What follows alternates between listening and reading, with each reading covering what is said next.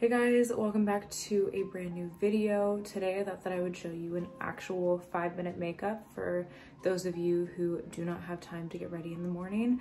I know most days I don't really have time to do like full glam and most people don't. Most people don't have time to do anything. So I thought that this video would be really helpful if you want to look presentable and if you want to look like put together, lifted and glowy without having to spend a lot of time doing your full routine. I'm gonna put on a little headband so I can get on my hair out of the way. And full disclosure, I already did my hair last night, so um, my hair is already kind of done. But if you don't have time to do your hair, I recommend just like throwing it in a little slick bun or something, and then you'll look really put together. So I'm gonna start out with some sunscreen. This is the Elta MD UV Clear Broad Spectrum 46. It is non-comedogenic, so it won't make you break out. And if you have sensitive skin, I suggest using something like this. This also does work for darker skin tones because it is tinted and it's pretty clear. So it won't give you that white cast that a lot of sunscreens do. So I just put this everywhere as my base. And I feel like I'm allergic to a lot of sunscreens. Or not allergic, but I get like little bumps. So this is the only sunscreen that really works for my skin. Next up, I'm gonna go in with my favorite Hollywood Flawless filter from Charlotte Tilbury and I'm just going to put that everywhere. This also creates a really beautiful glowy base. And I use my fingers just to evenly distribute it all over my face. Look at that glow. So, so pretty. Sorry I didn't upload for like two weeks because I have been traveling I went to Cabo and then I went straight to Miami and my friends have been visiting me in town in LA for the past week too. So I've been a little off the grid as far as YouTube goes, but it's so nice to have a balance, to make time for your friends and just like traveling, having fun and not taking life too seriously at times. I'm gonna use the Vanish Concealer from Hourglass. This is color Apricot, and I'm just going to start concealing in the areas that need a little extra coverage. I have some breakouts there.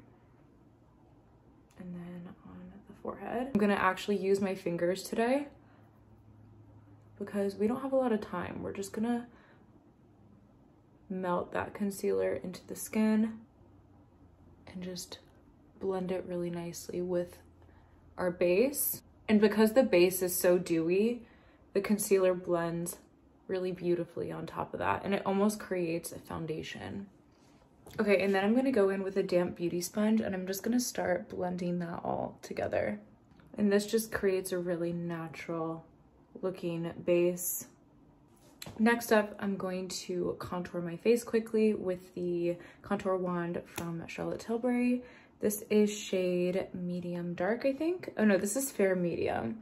And I'm just going to blend this with my Beauty Blender. And I like to contour where my natural cheekbone kind of falls. So you can tell when you go like this, where your face wants to be contoured. I'm just gonna in.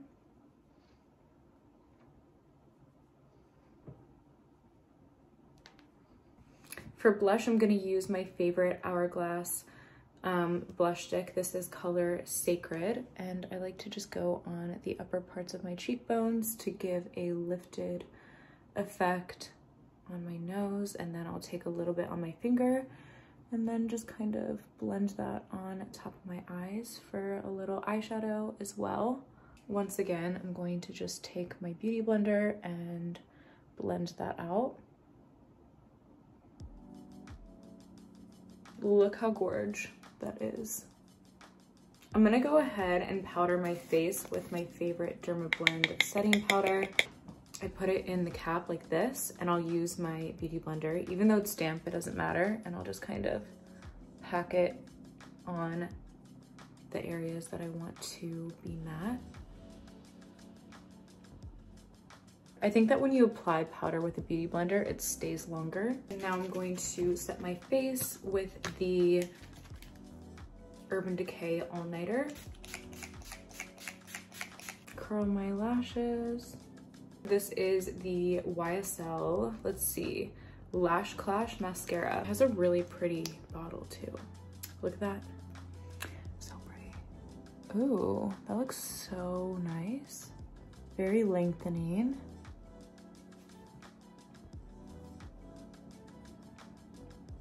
Wow, this is amazing mascara.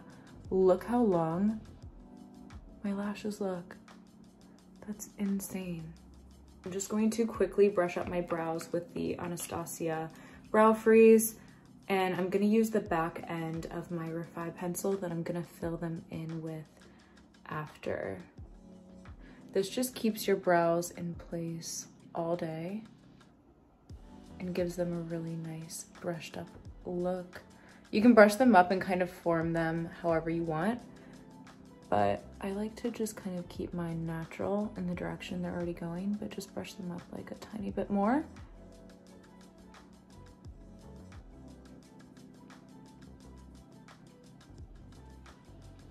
While those dry, I'm going to do my lips because I only have a few minutes to get ready. Normally I do my lips after I leave and I'll do it in the car right before I show up. But I'm gonna show you guys now because obviously I'm going to be using the Dibs liner in shade 2, I believe. And I'm just going to overline a little bit my top lip. Okay, and then I'm gonna go in with my favorite Dior Lip Glow in shade 12. It's a really nice little pinky nude. Do a little. And then I'm going to quickly fill in my brows with the Refy pencil and just do a few strokes just to get those hair-like strokes there and fill them in a tiny bit. I mainly only fill them in on the bottom or like on the edge just to bring them out a little bit more. Okay, so this is the final look. Super glowy, just easy and fresh for every day. I have to run, but I'm gonna be posting another video on Tuesday, and that is going to be my extensive nighttime skincare routine, which is like my holy grail, everything that I do at night to wake up glowing and fresh. So you have that to look forward to. I linked all the products below that I used today, and I will see you in the next video.